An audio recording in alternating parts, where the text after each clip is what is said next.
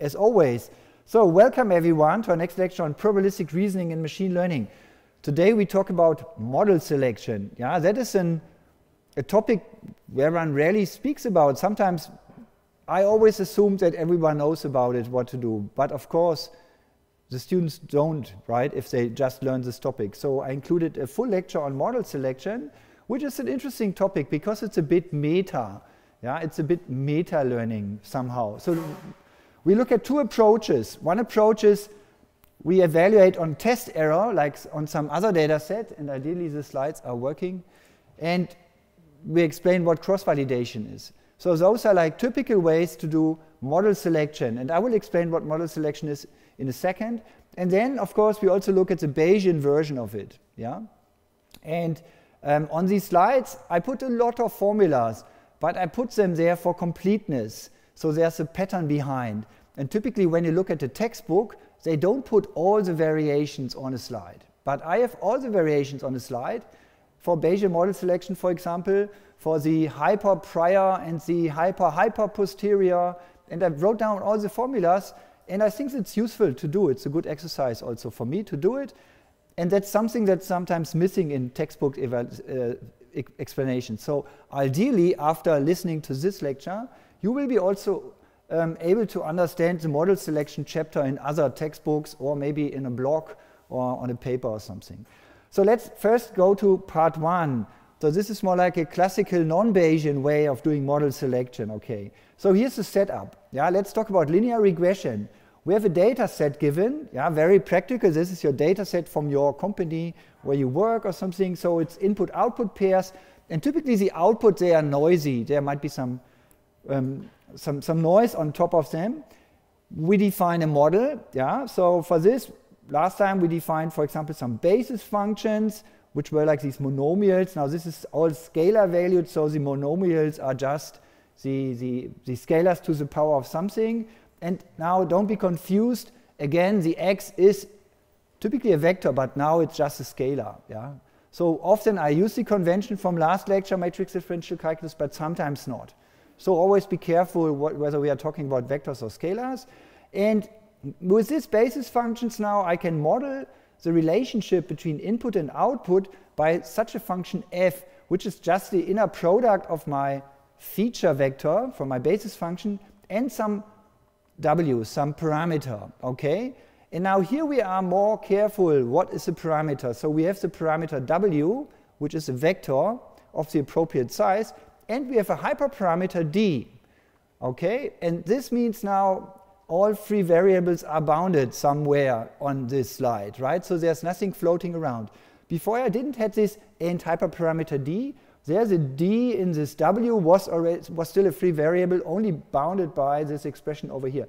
But that's why I also included the d into the function. So the d is another parameter of my function, okay? And if I choose a different d, I have a different function. Later we will see when I do the implementation in Python, Somehow the d can be extracted just by calling size of w, right? So it's just the size of w. So by choosing a particular w, I'm also choosing the d. But let's write the parameter d explicitly down here, okay? That's why I'm also explicitly writing it down on the basis function. So now what are we doing? We are defining some loss function, okay? We take the mean squared error, yeah, which is just the the, the, the difference, the square difference between the, um, the true value yeah, and the calculated value from my function. Yeah, note now I'm having all these additional parameters here. Often we use shortcut f of x, but there is a w and there is a d. And so in this lecture it's about w and d, so we need to be really careful about it. Um, and um, this could be plugged in, so then we just have the expression over there on the back, which is now using the function that I plugged in here. But basically the form of the f doesn't matter really for today. However, I also explicitly wrote down the mean squared error now, not just saying it's the MSE, but it's the MSE for a particular data set, for a particular W, and for a particular parameter D. Okay? Because later on we will have expressions where there will be several MSE expressions with different Ds. Okay? Training data, test data, for the people who know already what I'm up to. So now what we learned last time, or the last time before last time in the linear regression lecture was that we minimize the mean squared error, yeah, and that is the maximum likelihood estimator under some certain Gaussian assumptions. Yeah, and it could be written now also as a function, the WML, that takes as parameter the data set and the hyperparameter, okay? And it's just the argmin of applying the MSE. And again, here everything is nicely bounded, so there are no free floating variables which are implicit or so. Now the big question is, what is the best choice for D? And that is model selection, okay? So D equals 1, fitting a linear function, that's one possible model for my data. Yeah, D equals 2, fitting a parabola to my data, it's another model, okay? And how can I select between these models? Also, it's curious, the parameter w is something, it's living in a continuous space, right? It's in the r to the d plus 1. So it's a continuous parameter, so I can somehow, uh, I can do gradient descent and these kind of things, for example. Uh, my parameter d is slightly different. Here now it's a discrete parameter. So I really have to compare some discrete amount of models against each other, and I want to pick the best one. However, sometimes also the hyperparameter, think of the parameters of a beta prior, for example. They could be also continuous, okay, and you can do gradient descent on it, as we will at the very end of the lecture. Hopefully we get so far. No, I think we get to the end. Okay, so model selection is a question. I have different models. I have one for d equals 1, d equals 2, d equals 3, yeah? And then which one is the best? It doesn't have to be always like that. The model could be also, I have a support vector machine, I have a neural network, I have a decision tree. Those are also three models which might solve some classification task. And model selection could also mean which of these three is the best. Okay, so that's also model selection. Sometimes we would call these hypothesis one, it's linear regression. Hypothesis two, it's a neural network. Hypothesis three, it's a support vector machine. I think I changed the ordering now.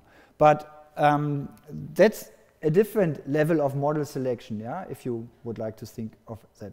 Okay, model selection, that is a problem. Here comes our first attempt. And the first attempt is like the most obvious thing and it will be very bad. Okay, so let's look at our first idea. So why not take our estimate, right, given the data, given the current D, and we minimize the mean squared error, yeah, over the D now. So we take the D, which is giving us the overall mean squared error of the data. Okay, that's our first choice, D1. So I can plug in the expression for the W, ML, okay, which is also an argmin. So you see there are two argmins inside. One argmin for the W and one for the D. One for the parameter and one for the hyperparameter, okay? And probably you could also do it simultaneously and you just have one argmin of the pair of W and D.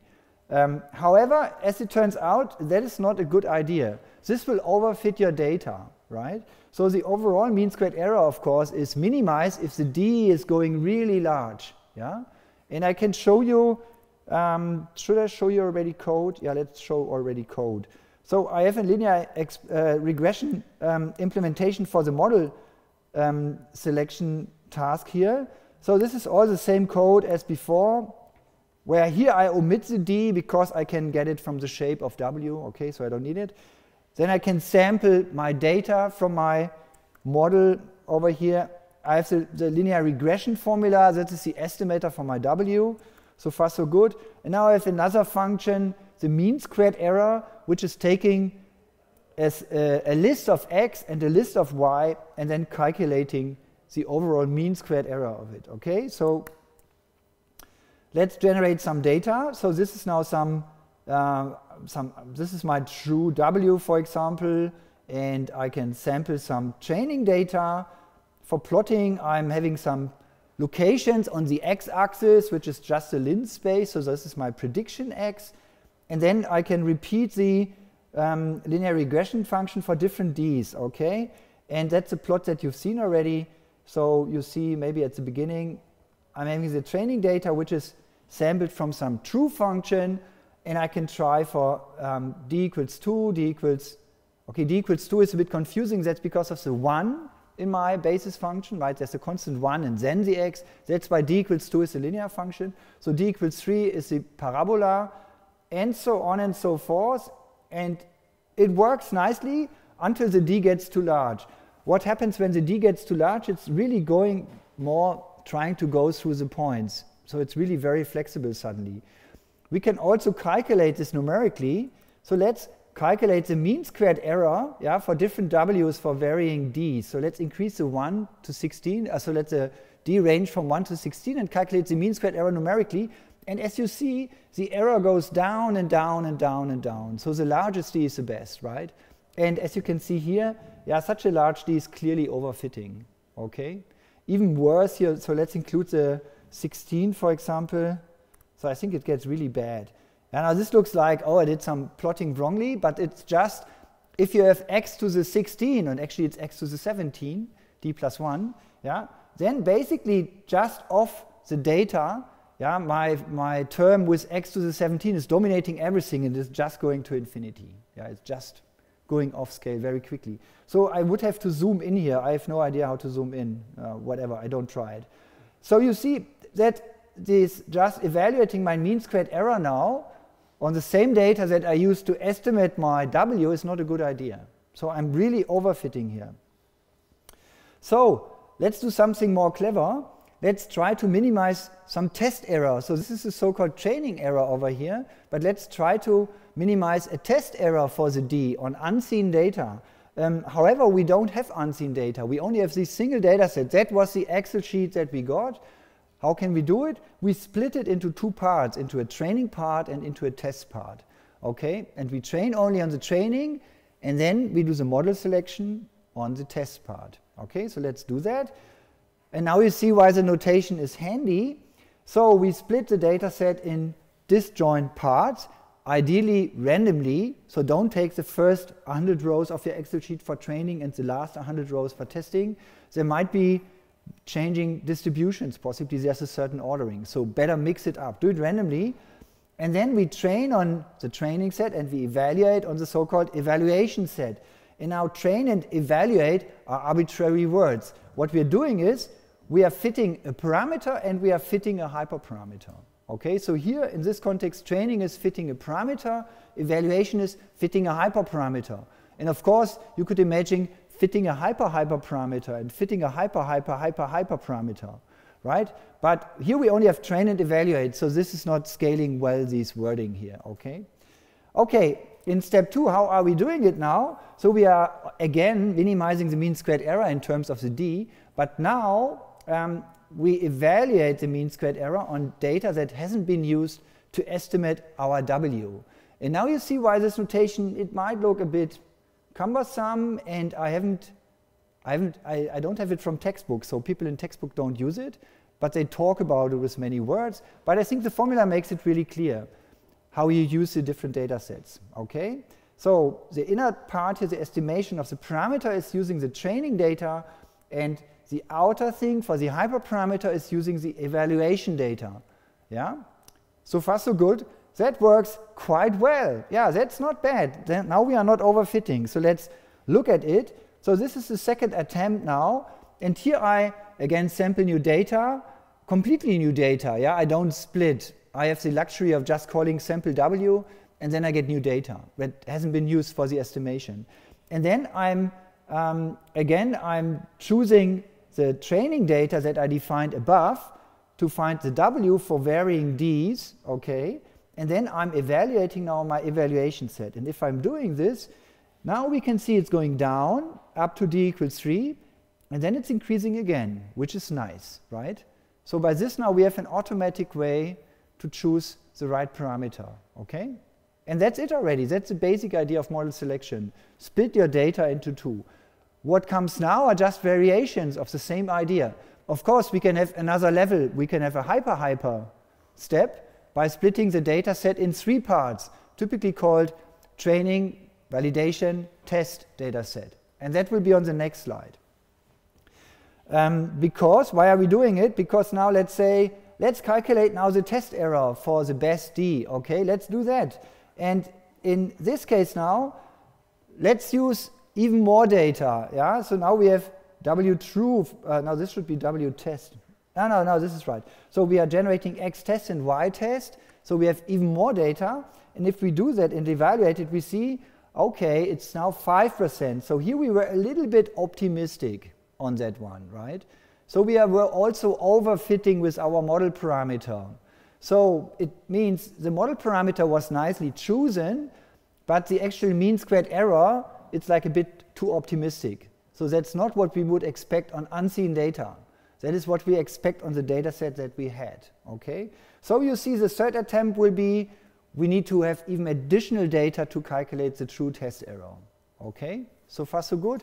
The effect here is very similar to the question, um, let's say you are you're having some, some whatever heights or yeah, let's say heights of people and you want to estimate the variance, okay, but you don't have the mean. Then you first estimate the mean and then you take the mean to calculate the variance. By that you are kind of um, optimizing a little bit too much. Yeah, it's like saying, um, so here's a 2D example. Let's say I want to calculate the variance of this data set. Yeah, how do I do it? I calculate the mean. So this is the mean here. And then I'm calculating the square distances to Z1. However, is this really the true mean? Probably not, right? The true mean is somewhere close by. But it, it's very unlikely that it's the exact right location. However, this estimate, the mean, the empirical mean, has the property that it minimizes the square distances to all the other points. So it's like definitely the one that is minimizing the variance. However, the true mean might have a slightly larger variance. So also here the variance is a little bit over-optimistic. By the way, that's the reason why you say 1 divided by n minus 1 in the variance estimator, right? Have you seen the 1 over n minus 1?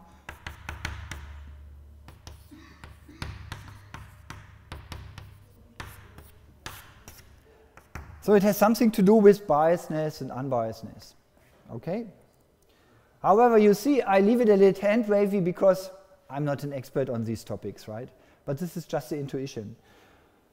Great. So I discussed already the problem. So now the question is, we have a parameter, great. We have a hyperparameter, even nicer. How can we evaluate it? Now you should report to your boss and she wants to know, so how good is it? So what's the error on data that comes tomorrow? And for that you need additional data. So you want to estimate the test error on never ever seen data. And um, of course, oh, that's what I, just what I said, you cannot just use this value, the MSE on the evaluation set. That's a bit too optimistic, okay? So that is underestimating the true error. So what we're doing, we just split it into three parts. And now we train on the training set, we evaluate on the evaluation set, and then we test on the test set. Uh, translated, we are fitting the parameter W on the training set, we are fitting the hyperparameter W on the evaluation set, and we are fitting, no, we are calculating the mean squared error then on the uh, test data, okay? Um, so we choose, uh, what is this? Choose D. Oh yeah, oh, this is not the latest version of the slides. How come? Ah, no, it is, okay, it is, it's, it's fine.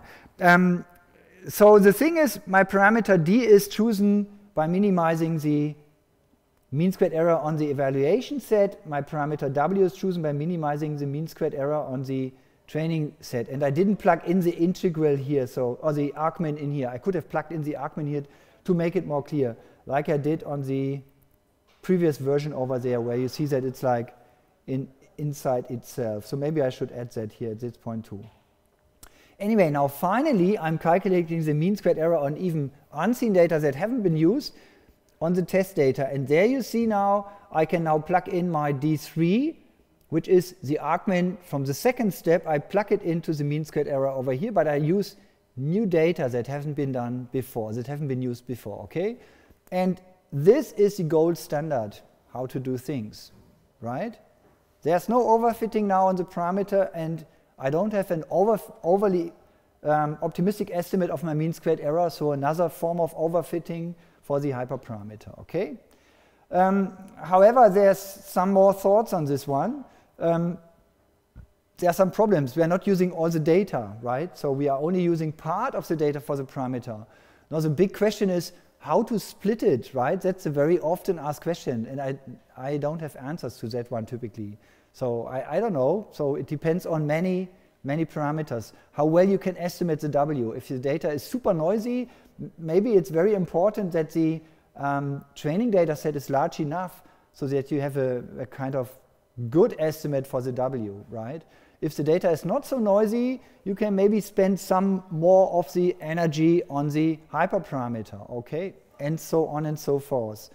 However, there are also some hacks, and one hack is called cross-validation. So cross-validation is now trying to find a compromise. So you want to use all data for estimating the parameters and for estimating the hyperparameters, but you don't want to um, uh, make these mistakes that I explained in attempt one and attempt two. And that's what cross-validation is about, okay? Um, so here's cross-validation. But let's talk first about a simple setup without a hyperparameter, okay? So let's first talk about the simplest form, where I'm only trying to fit a parameter, okay? And at the end, um, I want to evaluate the test error. So I'm omitting this stuff with the hyperparameter. Um, so we have data and we have a model with parameter w and the parameter w is not known. We don't know it, okay? So it's not coming from a colleague next door. However, there's no hyperparameter, so I was right with that, that one. Our goal is now to estimate the parameter and to estimate the test error. Okay, we want to have both in a way. But actually we are after estimating the test error. That's the essential thing that we want to know right? So the, we are not interested really in the point estimate of the W, but we want to see how good is the mo model overall. So now we do this by splitting our, our data set into two parts, where one part we use for estimating our parameter w, and the second part is used to estimate the mean squared error. And our cross-validation means that now we have a second round where we swap the roles. Now we estimate w on the second part of my data, and then we estimate the mean squared error on the first part of the data. Okay? And then finally, we are averaging. And of course, now um, you can easily generalize it to k-fold cross-validation. Okay, let's do that on the next slide. So there you split your data set into k disjoint subsets, yeah, of approximately equal size is a good idea. And now we iterate over k. So the subset, one of them, of these, is playing the role of the test set. So one is left out for later on to estimate the mean squared error. The others are joined and we estimate our parameter w on it. Okay? So we always leave part of our data set aside and estimate the parameter on the rest and then we calculate the mean squared error on the left out part. However, as you see, this is a for loop. So we do this k times. So instead of running your neural net or whatever and training it for one month once, you have to do it k times. So it's really expensive. So it requires a lot of computation. Maybe you have a cluster with k GPUs, and then you're fine. You can run it in parallel. Um, finally, then the cross-validation estimate of my test error then is just the average that I get from these epsilon i's. Okay? And there's one special case that, that got an, a special name is k is equal to n, where n is the number of data point, then this is also called leave one out cross-validation. Okay? So this sounds really, just a second, this is really extreme. You just leave out one point, you train on all the rest, and then you just evaluate on a single point from your um, data set. But you do it for all data points. And that's sometimes an even better estimate. Question?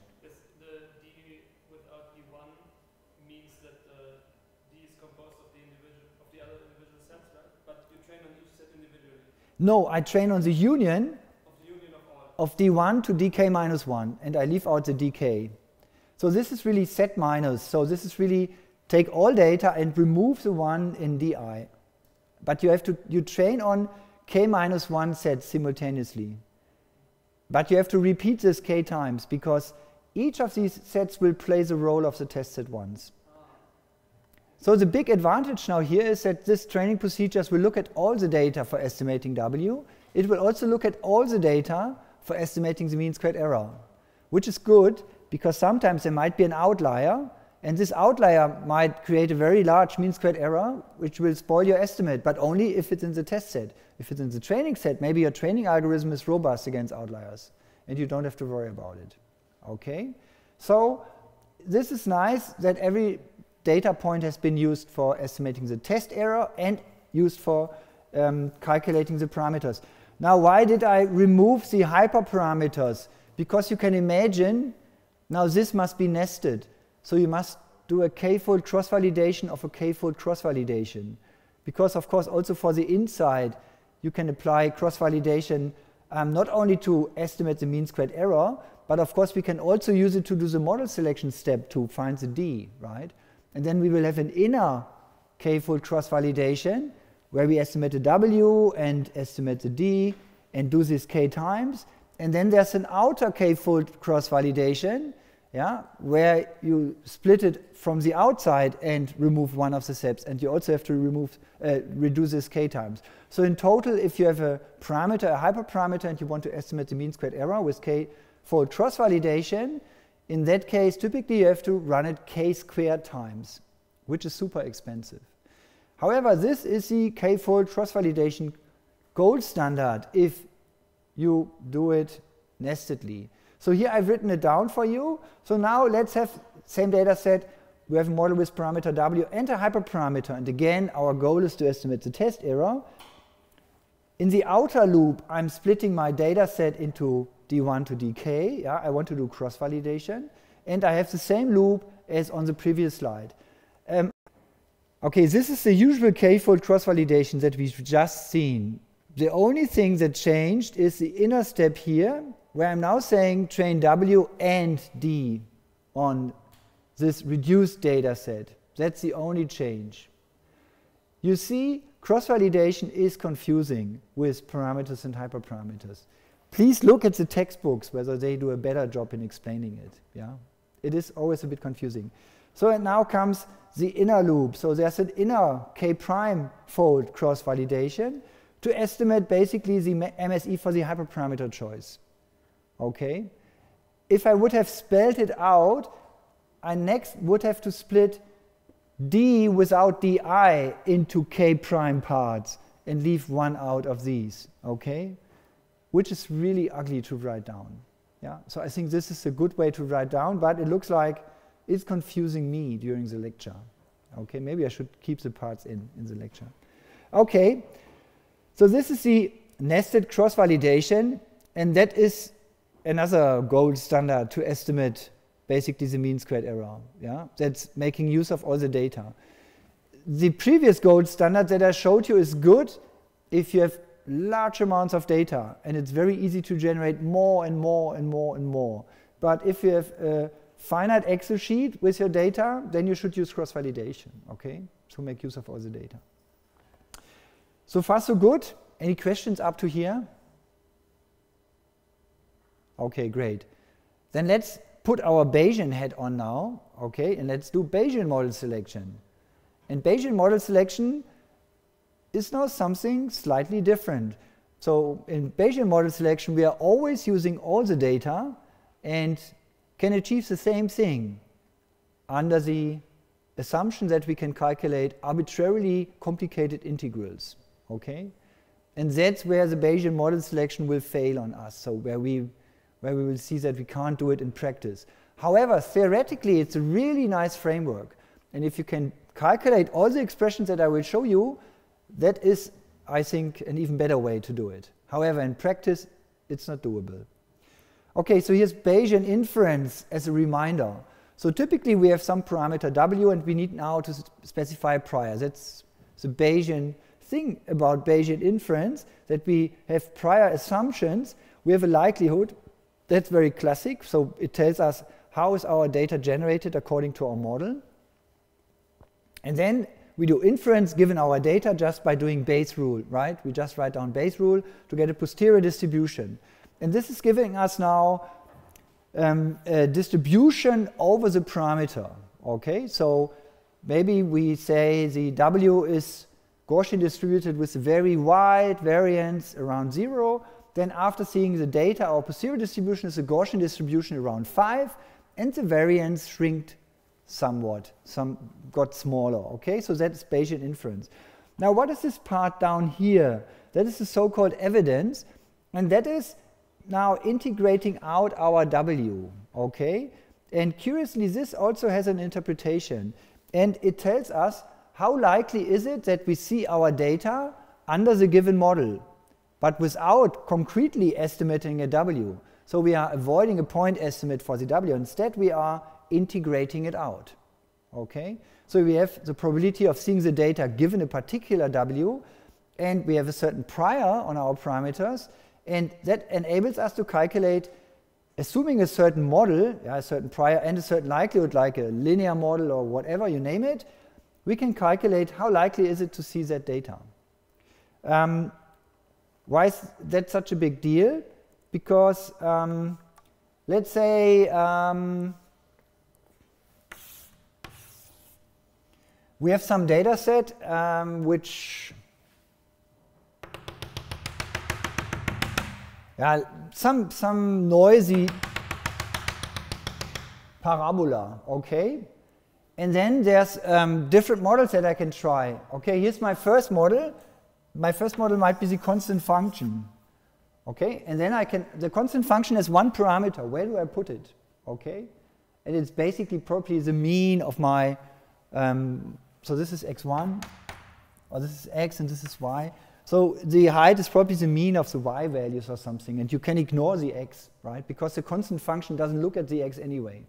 So it will be something like the mean. However, I'm not really interested in the mean. I'm interested in having some prior distribution over the possible parameters, which in this case is the height, how likely is it that this is some data generated from this model? Okay? And you will see the fit is not so nice, right? So you have here really large errors. And as it turns out, you will integrate over all these errors and you get some large number. Okay, second choice, some linear function, which now has some height, some part here, and some slope. And there the errors already get smaller. So, so let's say this thing has a p of d, so let's call it for d equal to 1, some number, okay? And I can also calculate for that one some evidence. So d equals 2, yeah? Some linear function. And typically, the probability here will be higher than that one, right? because the mean squared errors are smaller and Gaussian distribution e to the minus mean squared error, blah, blah, blah.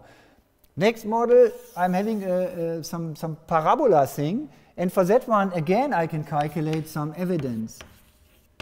And again, I'm not really interested in the particular parameters. I'm only interested in integrating out over, the, um, over my prior. Yeah? So that is the evidence. The evidence gives me different possibilities.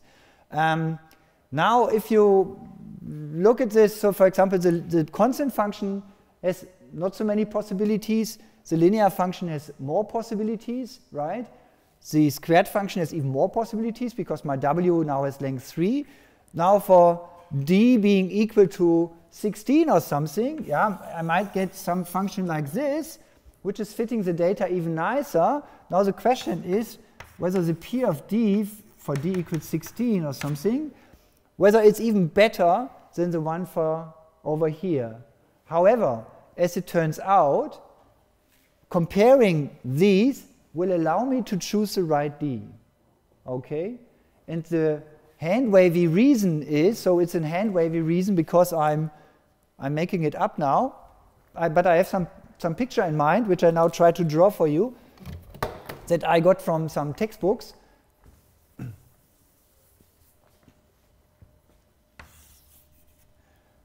So those are the possible data sets that I can fit, right? So that is a very weird axis. So every point here corresponds to one possible data set that I might observe. Okay? Now, the constant function can explain some, maybe only these ones. Those are like, they are very, very well explained by my constant functions. So the P of D will be very large for exactly those, and it will be very bad for all the others. Okay? Now, what about the linear functions? the linear functions, they're a bit more flexible.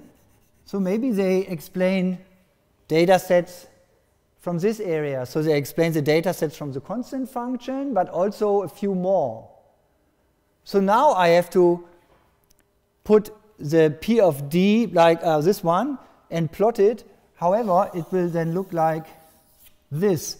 So it will be not so high as the other one, but lower because the, the area under this curve must be equal to 1. However, I distribute it over more possible data sets. Let's go on. Let's take the one with the 16. The 16 one is quite good, yeah, but um, or that might be the 3 one. Or let's say this is the one for d equals 1, d equals 2, d equals 3. Let's take the 16 one. So the 16 one is fitting very well to many, many, many, many, many data sets.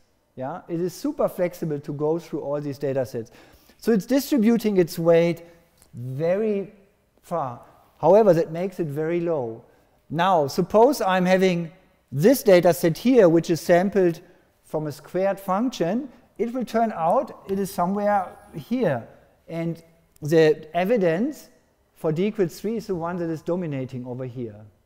So those are too simple. They don't explain it very well because they are too simple. This one is kind of overfitting to it, right?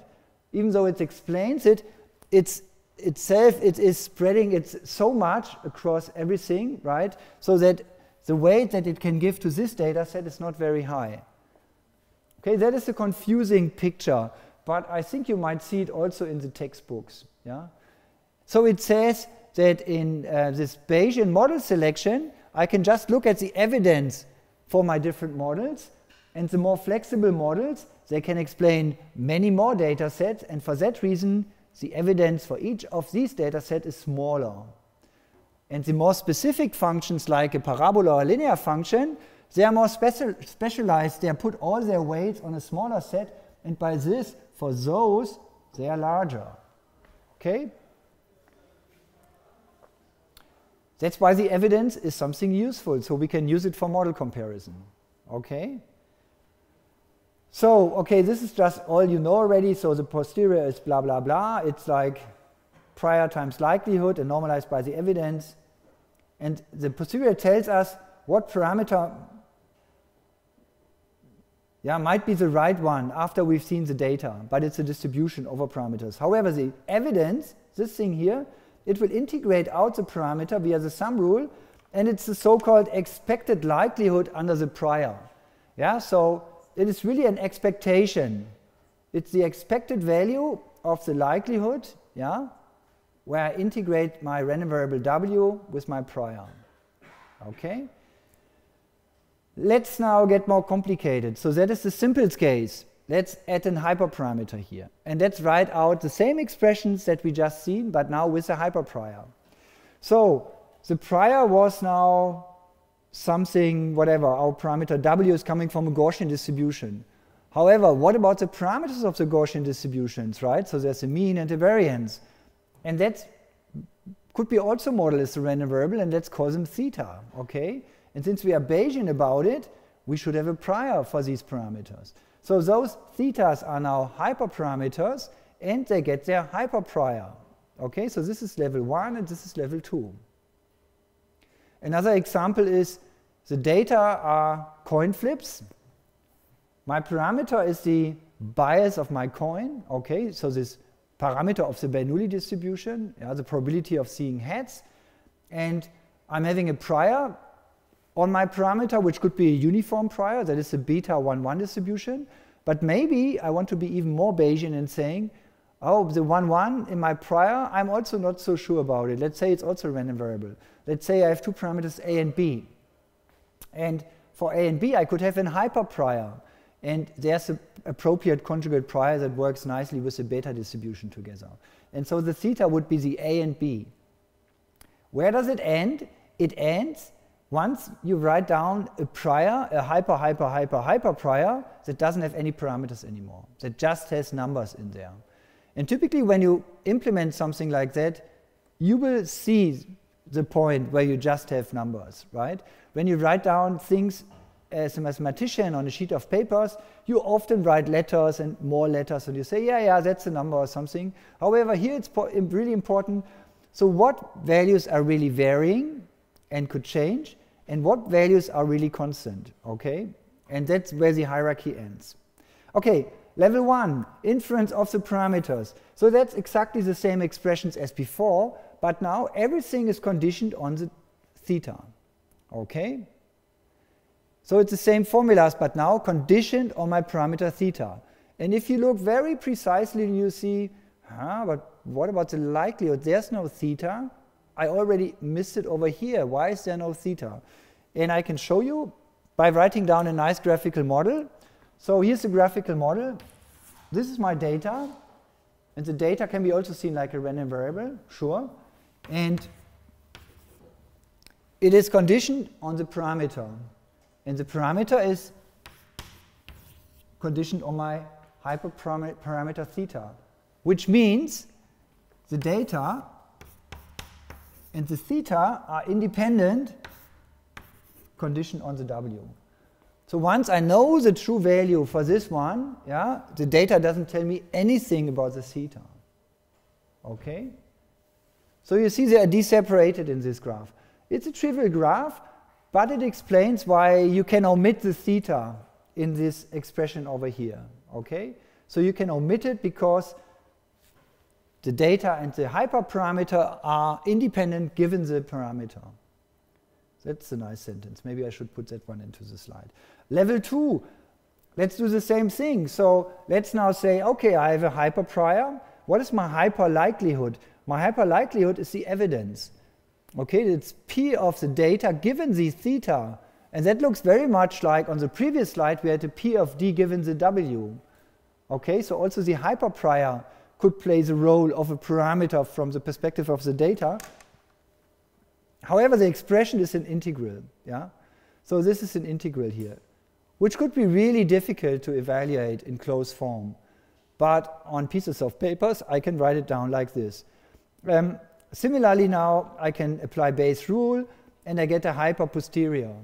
So that is after seeing the data, what is my updated beliefs about the hyperparameters? And I don't care for the W in these expressions. Similarly, this is the hyper evidence. And now you see where this goes. Of course, you can have a third level as well, and the fourth and the fifth and the sixth level, it doesn't matter. And I will show you practically where you stop. Uh, I tell you where you stop already now. You stop I think already at this evidence here. That's where you typically stop. But in principle, for conceptually, yeah, you can go on and on and on. And if you come up with a nice programming language, which like PyTorch is doing automatic differentiation, if you come up with a nice toolbox for Python or with a programming language that can do automatic integration, then we are in business and you can do Bayesian model selection just as the equations on the pieces of paper. However, there's a big difference between differentiation and integration. I thought about the problem quite for quite a while, maybe I shouldn't, but the, the thing is differentiation is the local property of a function. Yeah? You have a function and you can locally look at the function to find the slope, and integration is the global property of the function. You have to look at all locations to calculate the integral. That's why integration is super hard and differentiation is super easy. Okay? Okay, so far so good. Let's have now Bayesian inference with hyperparameters and models, where the model prior is nothing else than a hyper-hyper prior. Now here it's a, yeah, it could be the hypothesis one, it's a support vector machine. Hypothesis two, it's a neural network. Hypothesis three, it's this and linear regression. So it could be different algorithms or different methods. It could be also different parameters, hyper-hyper parameters, okay? And nothing stops us from writing it down like this. Um, again, here I think I could omit the H as well for the same reason, right? However, um, typically we might have a curly H for this graphical model, and then we have another one with a completely different algorithm where we also have an hyperprior, but we are estimating some alpha from a support vector machine, and maybe whatever, some beta and this is generating our data. So the graphical model for, I should work on my H, so the, um, different hypotheses could also refer to totally different constructions, how we generated the data. So it's not necessarily the same graphical model. Okay? That's why I included it. But it depends on your setup. Okay, you can guess what comes now. Here come all the expressions that you want to see maybe. So here's the hyperposterior and here's the hyper-hyperposterior. Now often called in this case the model posterior. Okay? So let's look at it. So here we are uh, getting our posterior information about the parameter. Here we integrate out the parameter and get posterior information about the hyperparameter. And here we integrate out the parameter and the hyperparameter and get information about our different hypotheses that we could then distinguish. Ideally, in a plot like that, yeah, we could have, maybe this was, oh, that is a nicer H. So this is hypothesis 1, hypothesis 2, and hypothesis 3. And maybe this support vector machine is super flexible, nonlinear, blah, blah, blah, blah, blah. So it's covering a lot of cases, and it has to spread its merits all over the place for all different data sets. And a more specific version, like a linear regression, yeah, much less sophisticated, but it's very good at some cases. Yeah. Okay. So far, so good, and we can spell out all the formulas. So I just wrote them all down. Some of them get a special name. So this thing over here gets the name marginal likelihood. Okay? So what's marginal about it? We integrated out the parameter. So we integrated out the first level of parameters. That's it. So that's the marginal likelihood. And that is the one that often appears in textbooks and that is used also in the rest of the lecture. Here now I, I put a summation sign by saying, okay, I have discretely many hypotheses, so discretely many different models. But as I said, it doesn't have to be like that, okay? So also the hyper-hyper parameter could be a continuous variable. Okay, so far so good. Um, question is, can we really, really, really, really calculate all these integrals? Okay, so this is my model specification. I have a prior on hypothesis. I have a prior condition on my hypothesis on my hyperpriors, and then I have a prior on my parameters, depending on my model assumption and blah, blah, blah. And then I'm having some likelihood that tells me under the current hypothesis and the current parameter how is the data generated, how likely it is. And now if you write out the overarching evidence, P of the data, you get this horrible thing. So it's a summation of an integral of an integral of something. And this thing can't be calculated in, in closed form solution. Yeah? But if it could, we could do very nice model selection. Maybe it's already nice if we could just calculate this integral here. That would be already very useful, right? Then we could already do nice model selection. However, typically, the integrals get very nasty. By the way, that's a big deal with conjugate priors conjugate priors are chosen in such a way that you can do some of these calculations at least. Okay? Unfortunately not, we can't do this, right? But it's a general procedure and if we could do integration, right? Someone comes up with it, how to do integration, like formally, yeah, write down a Haskell program, call integrate on this Haskell program and generate another Haskell program which is calculating the integral. That would be awesome, yeah. So please solve this problem. Yeah? I want to have it. Okay. Now let's see, is Bayesian model selection then just for slides, just for lectures, making nice plots? No, you can do something practical. But you shouldn't be too ambitious, okay? So let's show Bayesian model selection for regression, okay? First of all, instead of talking about P of the data, again, we are only modeling P of y given x. So the formulas are slightly changing. Yeah, we have now the x included over here. Yeah, that's just slight change. What I wrote down was conceptually very general for Bayesian model selection in general, but this is now specific for linear regression. We can write out all these expressions as well. I mean, this is just copy and paste, where I now moved the d away and I put a y and an x in here. Now, what can we do with this? Um, let's look at level one. Okay, level one is fine we can derive the posterior distribution for our W. Yeah? So that's something that we did. So we can calculate the posterior mean, which was that expression, And that is basically the ridge regression expression, by the way. And we can also calculate the posterior covariance matrix. This just all follows from the lecture on the Gaussian distribution. Yeah, just some application of the tricks. Um, right now, by the way, I'm assuming the theta squared and the tau squared, which are the parameters of these Gaussian distributions, to be constant. Yeah, why is it important? Otherwise, I couldn't really concretely write code to calculate a W vector. I need numbers here. I need to plug in something. However, in model selection now, we would like to automatically infer sigma squared and tau squared. Okay, so let's do that now and say sigma squared and tau squared are now also random variables and we want to do model selection, but combined with this posterior mean and posterior covariance stuff. Okay, let's write it out. So we have some hyperprior for our hyperparameters. We have a prior for our W and we have our likelihood as before, but now we collect the, the, these hyperparameters into the vector theta, okay? And um, we, we can again infer the posterior distribution. That's just the one from the previous slide. Now explicitly writing out conditioned also on theta. And um, what we now get from level one is basically the evidence, which is the probability of seeing the data, yeah, of having our output values given a particular parameter set theta. And this thing is called the marginal likelihood. Yeah, that's the evidence of level one. Now, it would be nice if we could continue with that one and multiply the prior to it, the hyperprior, and then go on. However, this gets too complicated. This can't be done anymore. So typically we stop at this point. So we are Bayesian on level 1 and then we will be non-Bayesian on level 2. Okay? And this is called empirical Bayes. So what empirical Bayes is doing, it's Bayesian about calculating the marginal likelihood.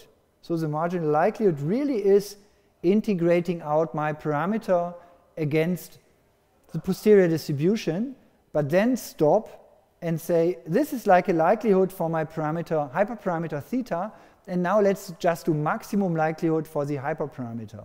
And that's like a compromise.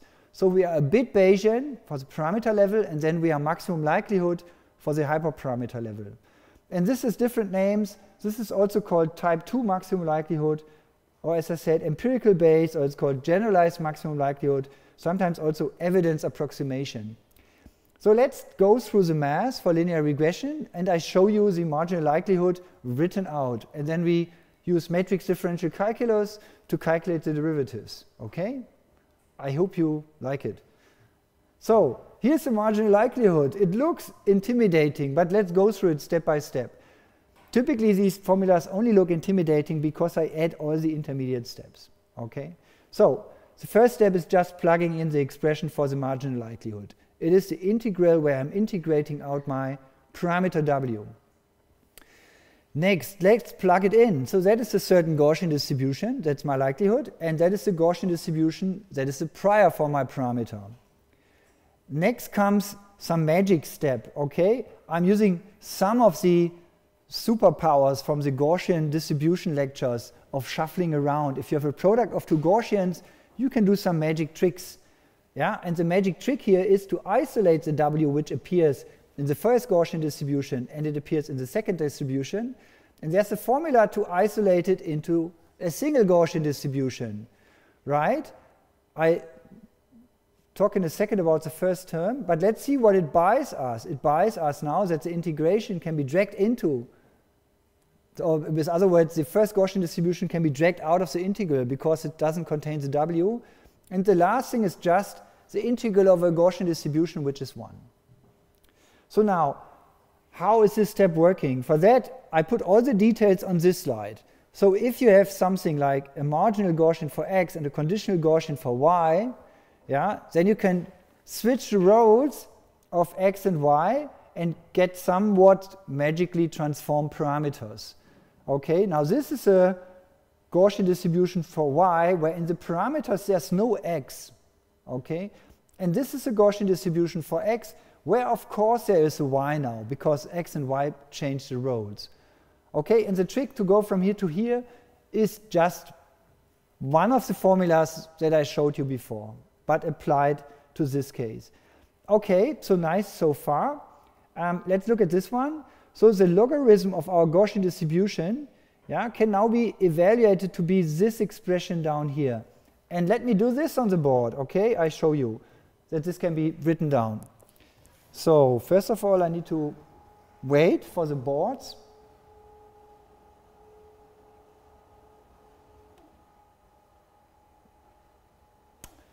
And let's write down a simple Gaussian distribution, a simple multivariate Gaussian distribution. Maybe with the wrong, wrong parameters here, but let's just, ah, let's make it, oh, we want to have it multivariate, okay? So ideally now I'm able to write it down and if I'm not mistaken, it was something like 2 pi to n half, where n is the dimensionality of my x. Okay? And times, um, I think, the square root of the covariance matrix. I think that's right. Yeah, the bars here are, it's like a norm, right? But it's calculating the determinant.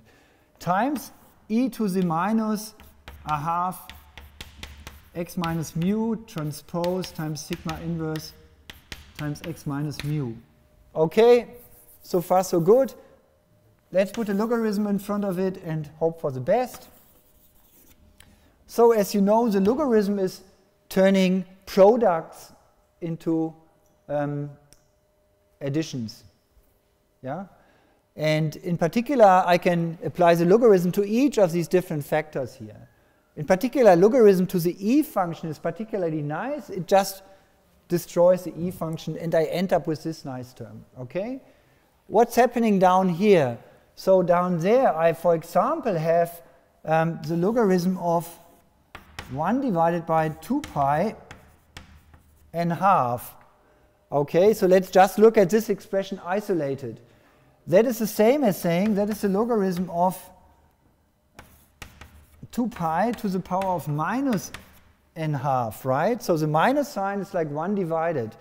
And then there's the formula logarithm of something to the power, I can drag out the power to the front of the logarithm.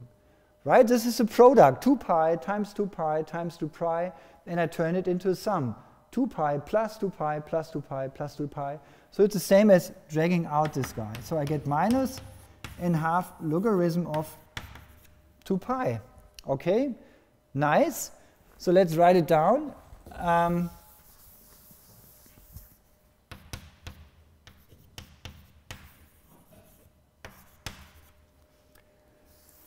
Similarly, I get the logarithm of 1 divided by z1, so it's the logarithm of the determinant of sigma to the power of minus a half.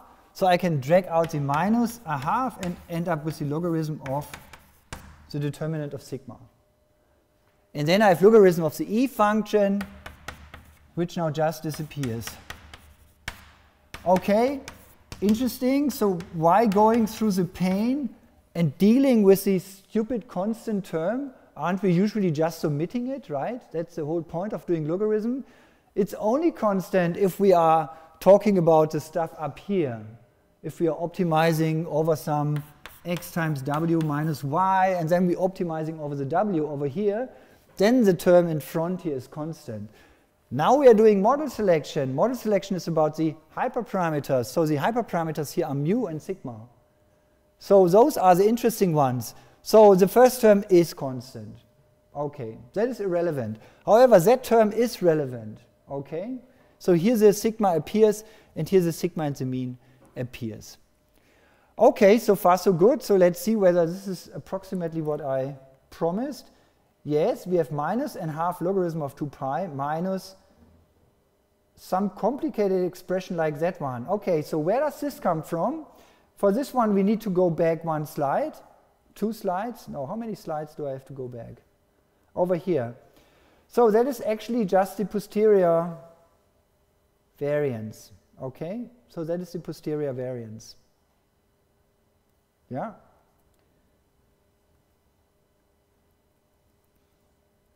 Okay, so that's where this one is coming from. And similarly over here. So that is the covariance matrix of the posterior distribution. No, of the, um, no, no, stop. This is the covariance not of the posterior distribution, but it's the posterior of the marginal likelihood. That's it, okay? So I, I, was wrong. It's not coming from the previous previous slides. It's coming from the magic going from the second line to the third line. That's where I'm getting this expression from, okay, from the marginal likelihood. So it's a covariance matrix of the marginal likelihood. That's where this expression is coming from. Okay, so it's a logarithm of the determinant of that one. Nice. And it also appears back here to the power of minus 1. Now, this is a function in sigma squared and in tau squared. And those are the two parameters I want to optimize over now. Okay, how can I do this? By calculating the derivative. And can we do it with matrix differential calculus? Yes, we can. Okay, and I show you on the board how to do it. So now let's calculate the derivative of this thing here. Uh, I don't know what, let's give it a name, phi of sigma squared and tau squared. Okay, and now let's apply matrix differential calculus to it to calculate the derivative. Uh, so the sigma here is, um, now let's put the sigma over here. Sigma was, uh, I don't know it by heart. Let me just copy it. It's sigma squared times the identity matrix plus tau squared times x times x transpose. Okay, so now let's calculate the derivatives of these guys. So first of all, they both appear in the sigma. So what are the terms that can vary in here? That one can vary, and that one can vary. Okay, so those are the interesting terms here. So let's say d phi, and then I can say d of the whole expression, just plugging it in. The first term is constant, I can omit it. The next one is not constant, so I get a d minus a half logarithm of the determinant of sigma. Okay? Minus d of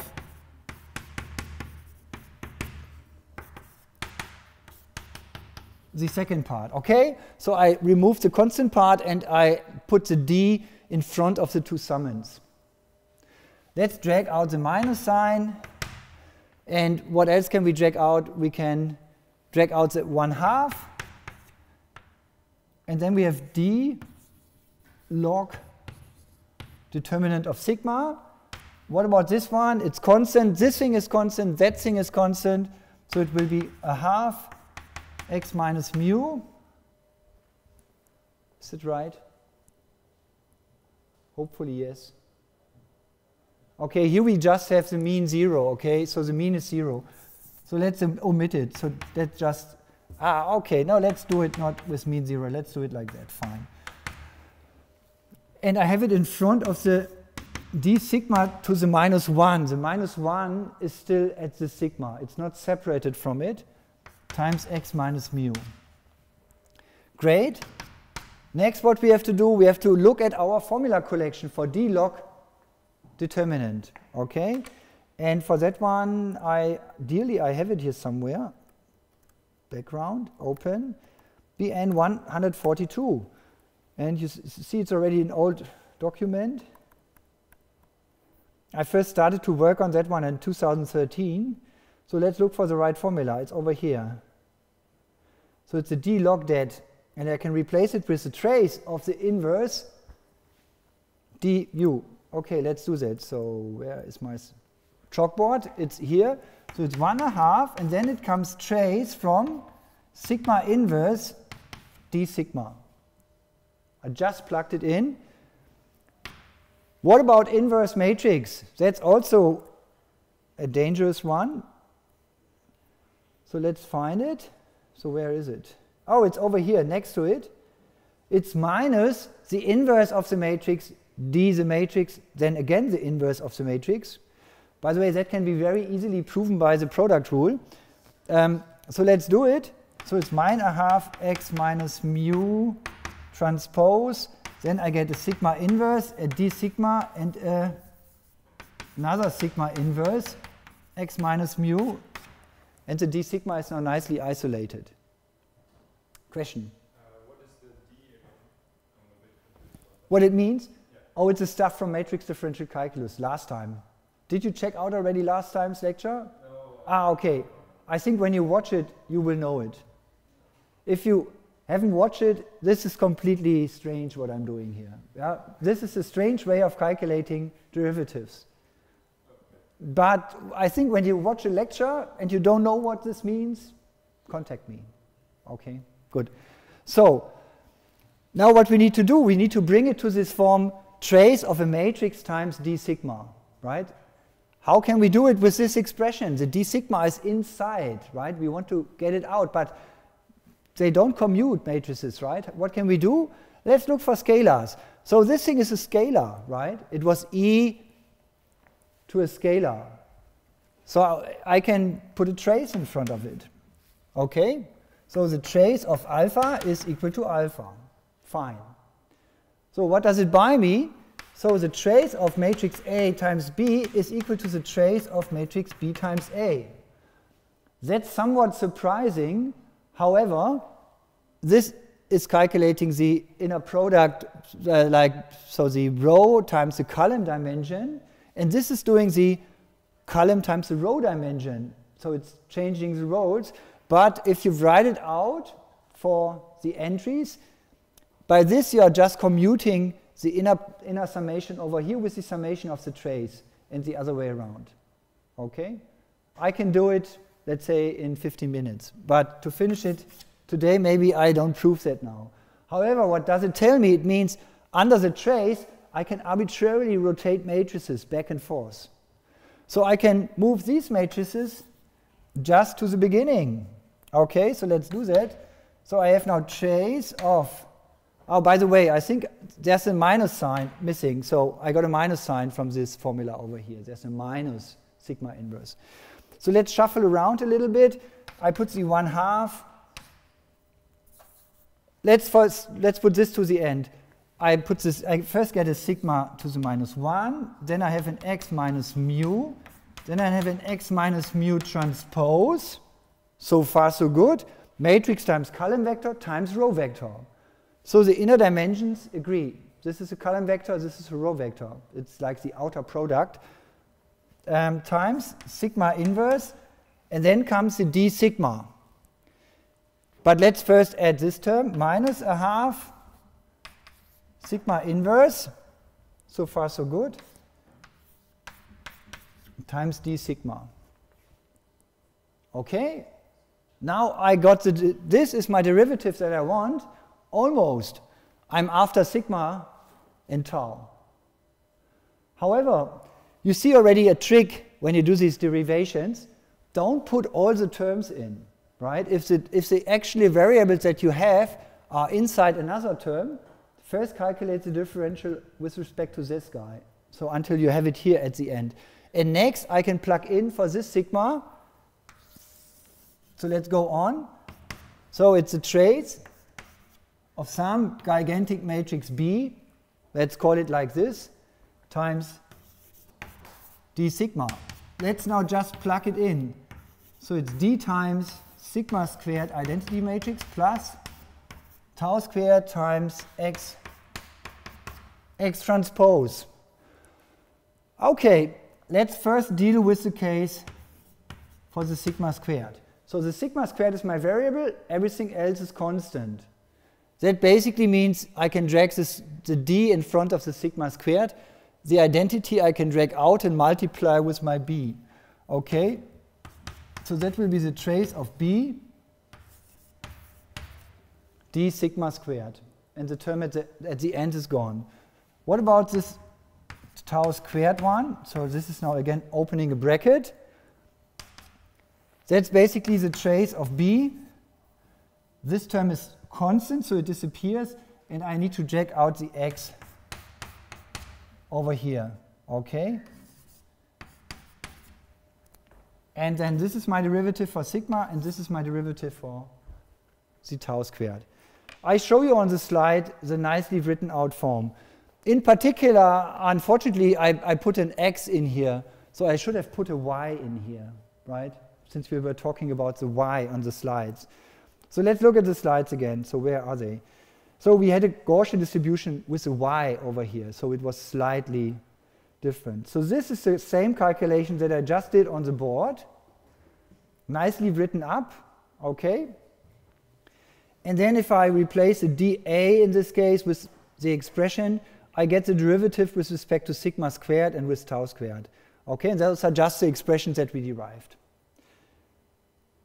I don't know whether you can derive them with partial derivatives. I think it's really tough yeah, to do this. It's no fun. Um, so now, great. Now we have the derivatives. We can run gradient descent and optimize over sigma squared and tau squared. Okay? This is the end. But let's look at the code. There are some hurdles to take. But let's first stop here. Any questions about this calculation? Maybe not immediately. Okay, feel free to ask in the chat, right? If there's something, some steps that you are blocked, yeah. Because if you are blocked, there might be a mistake in my slides, and you know, yeah, those mistakes are important for everyone. Okay, so let's look at Bayesian linear regression now. So the setup at the beginning is the same. I'm generating some toy data, okay? And my y is now a 100-dimensional vector. Fine, so far so good. Additionally, now I need a prior for my w, okay? And my prior has a certain variance tau, and um, that is just fixed in this case. Um, I can do this, sure, and I can calculate the posterior distribution. Yeah, so for the given choice of my parameters here, I can also have a different variance. Then I get slightly different covariance matrix down here. I get a posterior mean, which is the 2D array, and I get a, a matrix, a 2 by 2 matrix, which is a posterior covariance matrix. And I just use the formulas that we have written on the slide for the posterior distribution of the W. So it's just exactly that, okay? So this tau is, but it's something that is a hyperparameter, so I don't want to specify it. Okay, so let's do type 2 maximum likelihood about it. By the way, a good thing about type 2 maximum likelihood is that we are not Bayesian anymore about this parameter, so I don't have to write down a prior distribution, right? I don't want to write down a prior distribution for this hyperprior. Of course, I should if I'm fully Bayesian, but here I'm only Bayesian for the parameter and not for the hyperparameter. Let's implement the log marginal likelihood, okay? And since I want to run gradient descent on it, I'm implementing the negative log negative, uh, the negative log marginal likelihood, right? I just take the sign. So this is the log marginal likelihood. This is exactly the expression that I derived. So it's like um, y times the inverse of a, is it somewhere here? times y. Okay, so that is basically this expression, right? Since we are talking about y and y on these locations. Yeah? Or you couldn't see it, so let me switch. So that is basically that, not, that expression in the code. It's y times the covariance times y. The next term is minus a half logarithm of the determinant of the covariance matrix and finally, for completeness, it's constant, so I could omit it, but let's include it. It's 1 half times n times the logarithm of 2 pi. Okay? Great. And again, I'm using this trick of calling the function solve from numpy to avoid the inversion of a matrix, right? I don't need to invert the matrix, I just need to multiply a vector with my inverted matrix, and that can be done with solve. Okay, so that is my negative log marginal likelihood and I give it a short name where I directly plug in the data and the parameters, okay? So this is now a function only of the hyperparameters, which is useful because then I can run gradient descent on it. Okay, so far so good. Let's run this. Nice, works. And I can calculate it and plot it. Okay, so let's plot it. So here now the x and y axis are some log space for sigma squared and tau squared up here I choose a particular tau squared, but now I'm saying, no, I don't want to choose a tau squared. Tau squared is a hyperparameter. I want to infer it by using marginal likelihood maximization, uh, minimization. Ah, no, maximization, but negative log marginal likelihood, minimization. So let's look at the plot and let's try to find the minimum.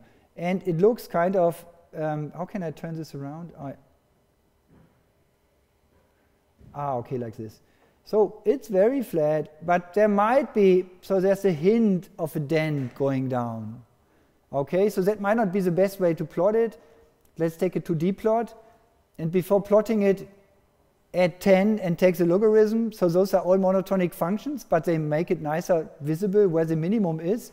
And then we see that somewhere down here, yeah, for a certain value of sigma and a certain value of tau, the marginal likelihood is maximized, okay? In this case, minimized.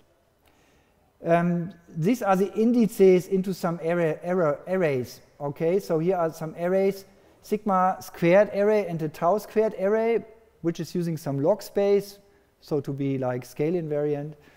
And those are the indices. If I look at the values, they are quite reasonable. Okay, my sigma square is 0.03. So that is a hyperparameter, but I can check how I generated the data. So how did I generate the data? Okay, I generated with 0.04. So it's matching very nicely. Okay? What about the tau squared? The tau squared is not appearing in how I generated the data because the tau square is part of my model. Okay, so there is no true value really to it. Okay, and it turns out, um, whoops, what happened? It, it turns out that the, the best value is something like 8.8 .8 in my model. Okay, so that is maximizing the marginal likelihood. Okay, let's calculate the gradient of this thing. We just did it on the board. So this is this big matrix expression that we just derived. Yeah, so that was this sigma times y times y transpose times sigma minus sigma and once I need to multiply it with the x times x transpose, and once I don't. So those are the gradients, but of course you need to check it with finite differencing. And when you do this repeatedly, you see I always get the same value. So that's for me proof enough that the formulas are right. Okay, great. Here's a small implementation of gradient descent. You might know it already from optimization. If, if you don't, you just go small steps downhill. That's what gradient descent is um, it takes a gradient and some function and then it just does going downhill. This is a small test for the code, so it's nicely minimizing here some squared function. I'm not expecting that you understand every detail in the code now. However, it should be enough to get you started when you look at the implementation. And this kind of code now looks, it's not simple, so it took me like three days or something to implement it. So if you spend half an hour on it and you don't understand it, yeah, please spend another half an hour on it because it's, it's really tricky. But I, ideally, I made it very simple. So we can calculate it at these optimal positions that we found we, to just get a feeling. It's like minus 8. That's something that we also seen in the plot. And then we can run gradient descent. And there's an interesting subtlety here. I tried it many, many, many times, and it usually failed. But now it kind of works. So now after many, many iterations, I'm correctly estimating the sigma squared, and I haven't put it in, and I have used all the data for the estimation of the parameter and of the hyperparameters, which is quite amazing, and I get some reasonable value for the tau squared.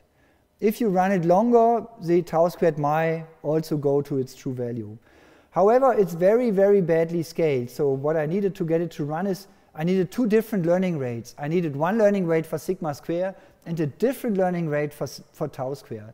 So this thing is, in, from the optimization point of view, like very badly behaved. So it's in principle possible. You are a little bit Bayesian and then you are empirical Bayesian for the hyperparameters, but at the end it gets quite painful to optimize this for a super simple example. So you can imagine for a larger example, it's, it's not so easy to do but in principle it can be done. Okay, that's it for today. Thanks for your attention, and I see you on Monday.